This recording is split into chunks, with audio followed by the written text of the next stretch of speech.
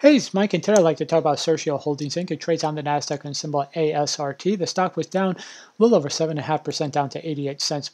You look over the past six months, Assertio has actually done pretty well. Did move up a little higher. We've had a lot of volatility and downward movement in the small cap stock, so it kind of makes sense that Assertio does move down. However, I definitely think you should keep it on your radar as an under $1 stock that has the possibility of breaking through a dollar, making a run at $2 a share. So Assertio is a pharmaceutical company, but however, they don't develop their own treatments. They actually acquire drugs so they could just bring them into market. They don't have to deal with the development time. right now, they have eight FDA approved products in various conditions.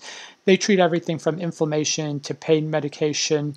Um, there's definitely some potential here for this company to do well, especially um, if business picks up. It just makes it easier. And also, if it's easier for them to get money, because obviously they're going to need to borrow money to you know make more acquisitions. So that could be an issue if we have higher interest rates.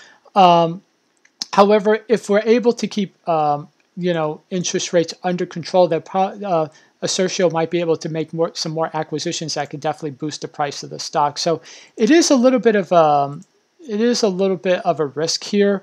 Uh, like I said, if it's harder for them to get money to make any more acquisitions, that could obviously be a strain on their stock. But on the other hand, if the economy goes bad, some of these drugs may be available at a discount price for Assertio to um, acquire. So that's just another thing to consider that they could find some uh, some drugs on the cheap if people uh, people or corporations are desperate to sell um, their drugs. So definitely check out Assertio Holdings. Wait till the small caps begin to rally again before getting into a stock like this, or wait for Assertio to break through $1 share. Because as I've said in previous videos, you have a stock that breaks through $1 share, it usually uh, makes a pretty good run at $2 a share. So definitely keep Assertio Holdings on your radar. It trades on the NASDAQ on symbol ASRT. Okay, so I hope you enjoyed this video. If you did, be sure to leave a like and and subscribe and turn notifications. I do multiple daily updates on stocks, options, and stock trading strategies. Thanks a lot. Bye.